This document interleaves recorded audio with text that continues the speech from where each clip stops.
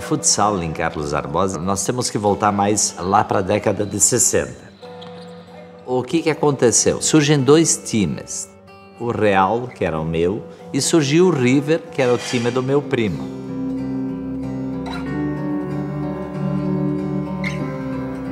eu não ganhava uma do meu primo. Eu perdia todas. E eu estava cansado de perder. O Clóvis disse para o meu irmão essa palavra: Eu estou cansado de perder. Vamos fazer um time para disputar o estadual.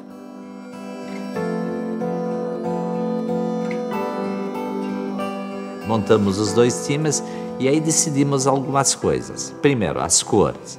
A cor branca do Real, a preta do River e a laranja da Laranja Mecânica, que era da Holanda.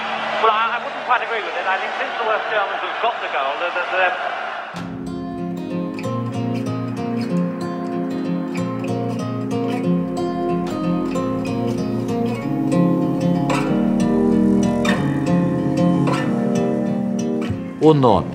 O Aldo Pontin, um dos proprietários da lancheria original, ele disse assim: por que vocês não põem o nome de Carlos Arbosa?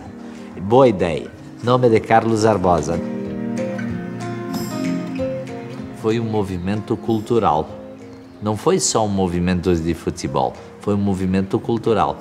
E nós fizemos uma transformação nessa cidade, onde todo mundo torcia pela CBF.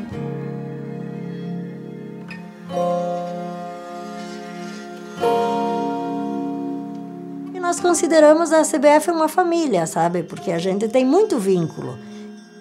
A CBF está no sangue da pessoa de Carlos Barbosa. Tu pega, por exemplo, no hospital, toda criança que nasce em Carlos Barbosa ganha o kit da CBF. Torço para a CBF desde que eu nasci, porque quando minha mãe estava grávida de mim, ela já ia nos jogos e daí desde criança eu vou para os jogos. Ninguém queria ficar de fora dessa festa. Mariana, então, nem pensar. Eu amo de coração esse time. Espero que a CBF seja campeã. Nós respiramos laranja. A nossa cor é laranja. Nós somos orgulhosos de ser da CBF. Chegou o Poleto, tocou no meio pro Daniel, chamou pra perna direita, devolveu, tocou no meio. Gol! Eu tava na torcida organizada e daí quando a gente ganhou, o Rodrigo subiu na goleira.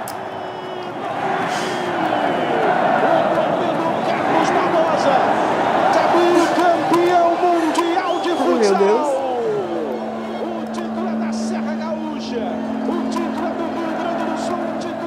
Enfim, foi o melhor jogo da minha vida.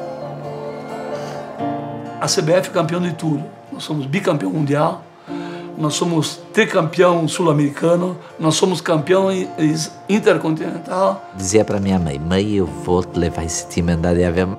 O time já andou o mundo inteiro de avião. A CBF, ela já foi de Carlos Barbosa. Hoje a CBF, ela é da região, ela é do estado. Eu me atrevo a dizer que hoje a CBF é do Brasil.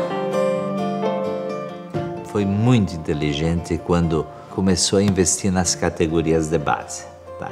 Começou a botar as crianças para dentro. Porque quando tu coloca a criança, tu envolve os pais. A gente começou mesmo assim, mais firme, quando meu filho começou na escolinha da CBF, nas categorias de base. A Mariane, na escola, ela sempre jogou futsal treinou muito na escola até que um dia a gente pensou, ah, por que não levar ela, né, na escolinha da CBF?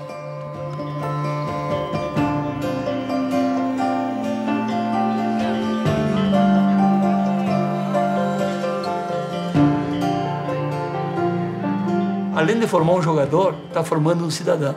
Que essa é a finalidade da escolinha da CBF. Eu acho que isso aí também engajou a sociedade como um todo.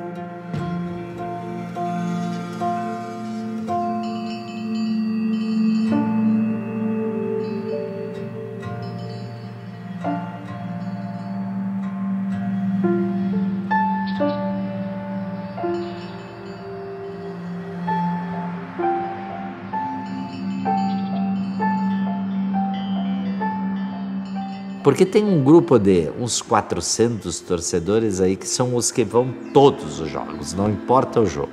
Os torcedores fiéis, eles têm lugares marcados.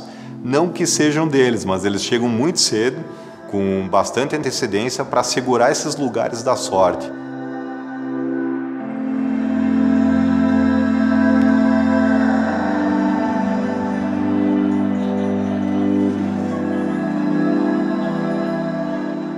Parece que tem que ser aquele lugar. Quando é final, eu sempre chego bem antes para pegar aquele lugar. Eu sou supersticioso, né? eu fico sempre no mesmo lugar, assisto o jogo sempre no mesmo lugar. Então, é sempre naquele lugar. Sempre. Rezo muito, eu estou concentrado, não quero que ninguém fale comigo e convoco todos os torcedores que não estão aqui, estão em outro é, estágio da vida, né? O Shea, a minha mãe, eu peguei, invoquei o meu irmão e disse: Shei, esteja onde tu estiver, disse, dá uma olhada para a CBF. Nós fizemos o gol, viramos e ficamos campeão. Até hoje todo mundo comenta isso aí, né? E esse fato eu lembro como se fosse ontem, é, o Quito, que é nosso conselheiro, invocando o falecido irmão dele para interceder por nós e acabamos em questão de segundos fazendo o nosso primeiro gol. E é um fato que eu não esqueço na minha vida.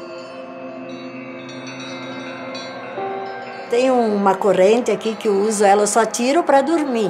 Eu uso ela sempre, diariamente. Aí ela tem um dentinho, que é um dos primeiros dentinhos do meu filho. Antes de começar o jogo ali, quando estão cantando o hino, os jogadores se apresentam, eu estou com a mão assim no dentinho. É um tipo um amuleto, assim, uma coisa que dá sorte. O ano de 2014 não foi um ano muito legal para a CBF, nós passamos por é, situações difíceis, não classificamos para semifinais do estadual e da Liga Nacional. Gente, a gente torceu tanto, tanto e perdemos. De 2009 até 2015 não ganhamos mais nada, mas eu disse esse ano tinha que melhorar.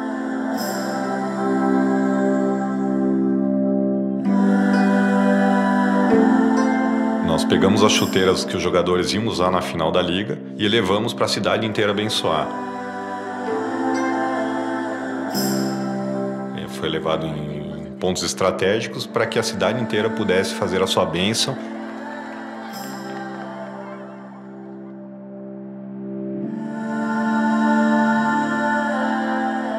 chuteiras foram levadas para a casa dos torcedores mais fanáticos da CBF, os torcedores mais fiéis, os torcedores de fé que acompanham a CBF durante seu dia a dia e amam a CBF de coração. E esse que usasse a chuteira aqui, pode estar certo que a minha a coisa é, é positiva. Como eu sou também devota a Nossa Senhora de Caravaggio, eu vou pedir para ela que ela dê essa força e energia para os jogadores terem na hora do jogo.